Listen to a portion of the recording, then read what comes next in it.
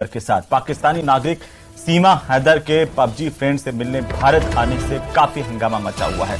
वहीं अब एक भारतीय नागरिक अंजू पाकिस्तान के खैबर पख्तूनख्वा पहुँची हैं।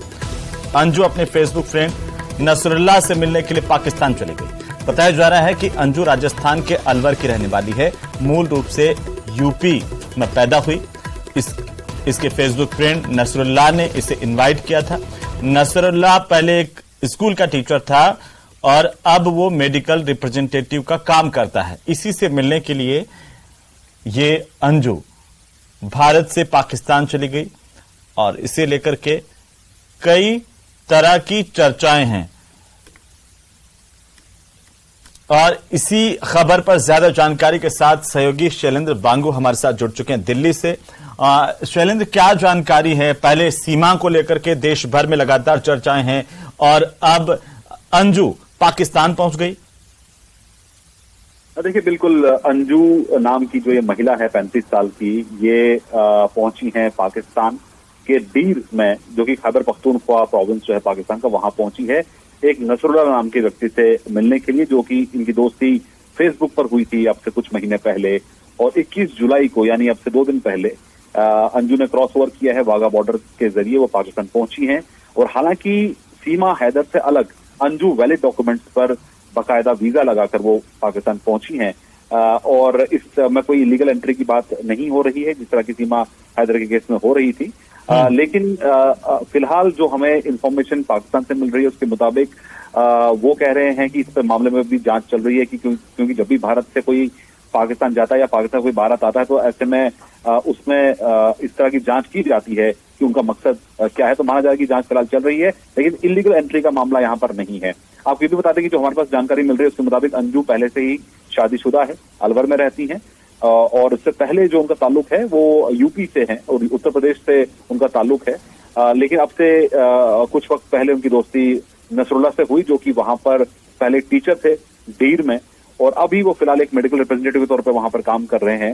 फ़िलहाल अंजू के मामले में जा, जाँच चल रही है पूछताछ वहाँ पे पा, पाकिस्तान में चल रही है। लेकिन इस मामले में कोई इस तरह का अभी तक पेचीदा मामला सामने नहीं है। कोई कोई से शक की गुंजाइश इस मामले में सामने नहीं आई है। लेकिन ये ज़रूर है कि एक बार फिर से एक लेकिन शैलेंद्र ये कहा जा रहा है कि इस पूरे मामले को लेकर के जो डीपीओ डीआईआर है उन्होंने इस बात की पुष्टि की है जानकारी दी है कुछ?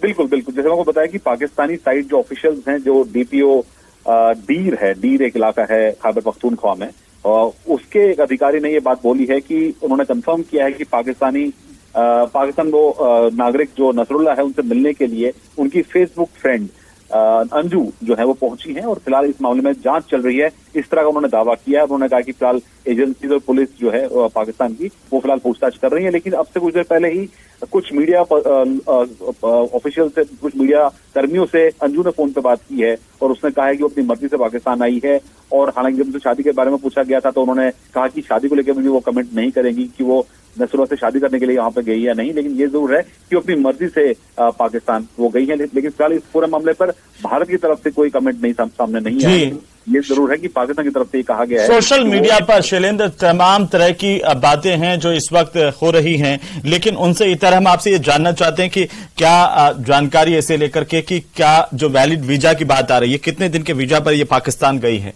और इसके बाद क्या वहाँ पर सुरक्षा एजेंसियाँ इससे पूछताछ कर रही हैं? देखिए जो खबर हमारे पास है ये वैलिड वीज़ा पे जिसे विजिटर्स वीज़ा कहते हैं उस पर ये पहुँची हैं पाकिस्तान में जो अभी भी वैलिड है अभी भी ये वैलिड है माना जा रहा है कि नब्बे दिनों का उनको माफ़ कीजिए तीस दिनों का उनका स्टे का वीज़ा मिला है तीस दिनों के लिए वहाँ पर वो रहते थे। यानी कि अगर हम बात करें इक्कीस जुलाई को उन्होंने अगर एंट्री की तो इक्कीस अगस्त तक वो वहाँ पर वैलिड वीज़ा पर रह सकती हैं। उसमें कोई इसमें उनको परेशानी नहीं होगी। और ये वीज़ा जो है उनको चार मई को मिला जहाँ तक मे, मे, मेरी जानकारी है जी जी। और ये 21 जुलाई को उन्होंने क्रॉस ओवर किया है, लेकिन फ़िलहाल वहाँ पे जाँच चल रही है क्योंकि पाकिस्तान में जब कोई इस तरह से भारत से जाता है तो ज़ाहिर तौर पर वो उसके, उसका बैकग्राउंड चेक करते हैं, लेकिन फ़िलहाल कोई एडवर्स रिपोर्ट पाकिस्तान के पास भी नहीं है। वो कह रहे हैं कि वो यहाँ पे अपनी मर्ज़ी से आई हैं, मुलाकात करने के लिए नसरुल्ला से, और वहाँ पर फ़िलहाल वो अभी मौजूद है पाकिस्तान की खबर पख्तूनख्वा तो आप कह रहे हैं कि तीस दिन तक उनके पास वैलिड वीज़ा है पाकिस्तान का। ये जो खबर आई कि वो वहाँ के किसी व्यक्ति से मिलने गई है इसको खुद उन्होंने कमिट किया है क्या शैलेंद्र? जैसी मीडिया रिपोर्ट्स आ रही हैं। बिल्कुल बिल्कुल। जो जो ये बातें चल रही थी और पाकिस्तान में, देखिए, पहले तो पाकिस्तान की तरफ़ से ही ये जानकारी सामने आई है। पाकिस्तानी मीडिया को ये जानकारी लीक की गई है कि पाकिस्तान से एक महिला माफ़ कीजिए हिंदुस्तान से एक महिला जो है पाकिस्तान गई है, किसी से मिलने के लिए खबर पख्तूनख्वा है। ये इन्फॉर्मेशन खुद ही पाकिस्तानी ऑफिशियल्स ने साझा की है पाकिस्तानी मीडिया के साथ। जब हमारे साथ ये कंफर्मेशन इस मामले पर हुई तो उन्होंने हमें कंफर्म किया कि अंजू नाम की जो महिला है, ये पैंतीस साल की है और ये नसरुल्ला से मिलने के लिए वहाँ पर पहुँची है। फेसबुक फ्रेंड से ये दोनों, काफ़ी वक्त से टच में थे फेसबुक पर, और जिसके बाद उन्होंने फैसला लिया मुलाकात करने का, और उसके बाद वो 21 जुलाई को पहुँची है पाकिस्तान। उनके पास तीस दिनों का वैलिड वीज़ा है, जिसके लिए वो वहाँ पर रह रही हैं, और ये सिंगल एंट्री वीज़ा है। यानी कि एक बार वो वापस आ जाती तो दोबारा नहीं जा पाएँगी। तो ये फ़िलहाल वीज़ा की डिटेल्स है, लेकिन अब तक ये साफ़ नहीं हो पाया है कि किन हालातों में और किस तरह से उनकी दोस्ती हुई।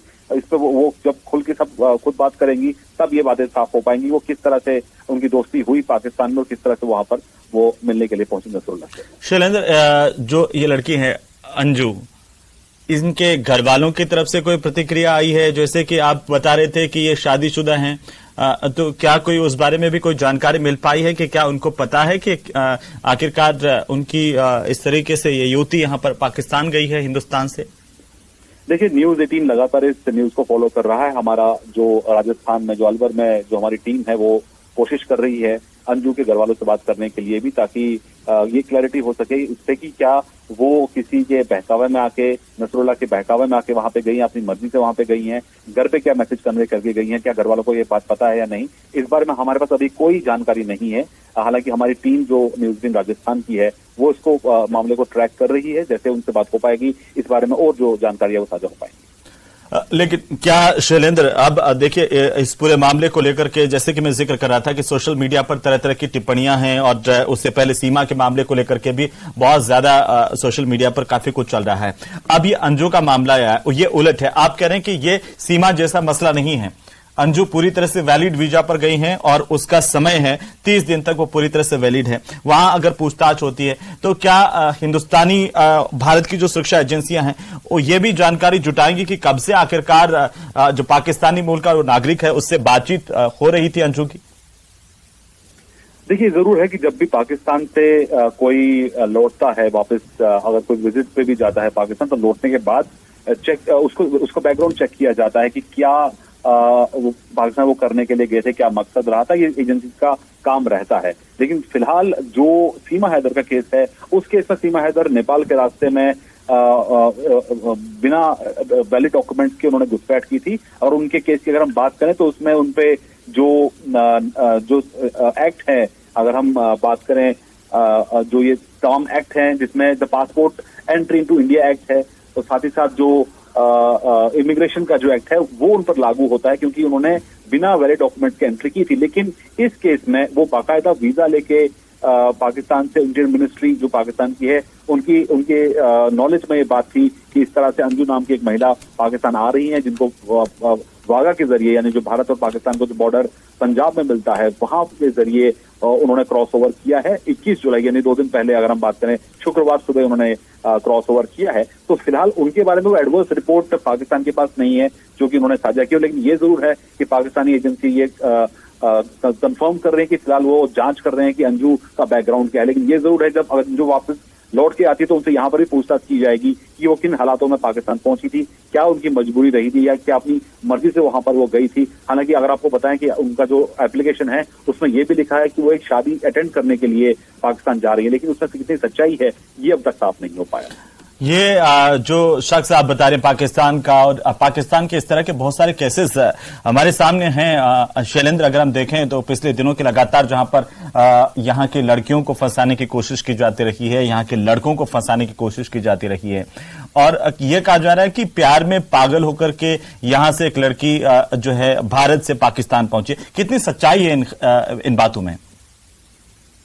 देखिए सोशल मीडिया के ज़रिए हमने देखा है कि बहुत से ऐसे मामले सामने आए हैं जहाँ पर जिसे हनी ट्रैपिंग का भी कहा जाता है एजेंसी को भी कहा जाता है कि वो अलर्ट रहें और नागरिकों से भी कहा जाता है आपको याद अगर आप याद दिलाएँ कि एक मामला आया था हामिद अंसारी का हम्म। हामिद अंसारी युवक जो है मुंबई में था और मुंबई से वो ऑल द वे पाकिस्तान गया प्यार मोहब्बत के चक्कर में और वहाँ उसको कई सालों तक जेल हुई और आ, आपको याद दिलाएँ आपसे कुछ वक्त पहले उसके माँ बाप उन्होंने कई सालों तक मुश्किलें झेली हैं इस मामले को लेकर, क्योंकि उनकी भी कुछ ऐसी ही दोस्ती हुई थी और वो मिलने के लिए पाकिस्तान अपने महिला मित्र से मिलने के लिए गए थे, लेकिन वहाँ पर जब वो पहुँचे तो उनको अरेस्ट कर लिया गया तो उनको जेल में जेल भेजा गया कई सालों तक, जिसके बाद फाइनली जब भारत सरकार ने इस मुद्दे को उठाया, उसके बाद उनकी रिहाई हुई। और अब से कुछ वक्त पहले हामिद अंसारी जो है वापस हिंदुस्तान लौट आए थे, महाराष्ट्र लौट आए थे, लेकिन उस बाद में उन्होंने अपनी आप बीती सुनाई। इस मामले में भी अभी ये फ़िलहाल कहना मुश्किल होगा कि किस तरह का मामला है, इनकी दोस्ती कैसे हुई, क्या इनको पता था कि ये पहले दिन से कि ये पाकिस्तानी नेशनल है और उन, उनके बीच में किस तरह का संबंध था ये सब कहना अभी बहुत प्रीमेच्योर होगा क्योंकि अभी एजेंसी के पास भी भारत के पास भी बहुत ज़्यादा जानकारी नहीं है। जो शुरुआती जानकारी है वो पाकिस्तान की तरफ़ से ही आ रही है कि इस तरह की महिला जो कि अलवर की रहने वाली है वो पाकिस्तान पहुँची है अपने फेसबुक फ्रेंड से मिलने के लिए। हालाँकि इसमें अभी जाँच पाकिस्तान भी फ़िलहाल कर रहा है लेकिन ऐसे बहुत से मामले होते हैं जहाँ पर हमने देखा कि पिछले दिनों में ऐसे बहुत से ऑफिशियल यहाँ तक कि विदेश मंत्रालय में एक अधिक जो एक जूनियर लेवल के ऑफिसर है, उनकी भी पाकिस्तानी महिला से दोस्ती हुई थी। बाद में उनको अरेस्ट किया गया क्राइम ब्रांच के ज़रिए जहाँ पर ये पता चला था कि वो जो सेंसिटिव इन्फॉर्मेशन है, वो शेयर कर रहे थे। तो हालाँकि इस तरह के जो ट्रैप्स होते हैं, ये बिल्कुल जेन्युन है, ऐसा होता है। इसलिए एहतियात बरतने की ज़रूरत है। लेकिन इस केस में अभी ये कहना जल्दबाजी होगा कि वो किन हालत में वहाँ पर पहुँची है, कैसे उनकी दोस्ती वहाँ पे हुई है। तो इस पर फ़िलहाल अभी एजेंसी नज़र बनाए हुए हैं। विदेश मंत्रालय और गृह मंत्रालय भी इस पूरे मामले पर नज़र फ़िलहाल बनाए हुए हैं। लेकिन जैसे इस पर कुछ चीज़ें सामने आएँगी उसके बाद ये इस पर और क्लैरिटी मिल पाएगी। जी शैलेंद्र एक बात और ज़रूर मैं जानना चाहता हूँ कि देखिए आपने एक बात बताई कि ये उत्तर प्रदेश में पैदा हुई जो अंजू है। उसके बाद राजस्थान रहने लगी। क्या इस बात की कोई जानकारी मिल पाई है कि कब से ये राजस्थान में रह रही थी? देखिए अभी राजस्थान को लेके कब से वो रह रही हैं इस बात को अभी मेरे पास क्लैरिटी नहीं है लेकिन ये ज़रूर है कि जो उनका पासपोर्ट की अगर हम बात करें तो उनके पासपोर्ट पर साफ़ लिखा हुआ है कि ये जो अंजू जो पैंतीस साल की महिला है ये रहने वाली हैं ये इनकी इनका जो जन्म स्थल है वो कैलोर है कैलोर ये उत्तर प्रदेश का है। हम्म। और अब वो अलवर में रहती है एक एक सोसाइटी में डिटेल देना तो अभी सही नहीं होगा क्योंकि वो उनकी निजी जानकारी है। तो अलवर में वो रहती हैं और कब से रह रही हैं, ये भी क्लियर नहीं है। शादी कब हुई थी, ये भी इसमें अभी क्लियर नहीं है। बिल्कुल, बहुत सारे सवाल हैं जिनका अभी थोड़ा सा इंतज़ार करने की शैलेंद्र, मुझे लगता है कि ज़रूरत है हम सभी को और इसे लेकर के हालाँकि बहुत सारी चर्चाएँ हैं और इसी खबर पर ज़्यादा जानकारी के साथ आप हमारे साथ जुड़े। बहुत शुक्रिया। नज़र बनाए रखिए, लगातार अपडेट हम आपसे लेते रहेंगे। तो चलिए, फ़िलहाल यहाँ पर वक्त हो चला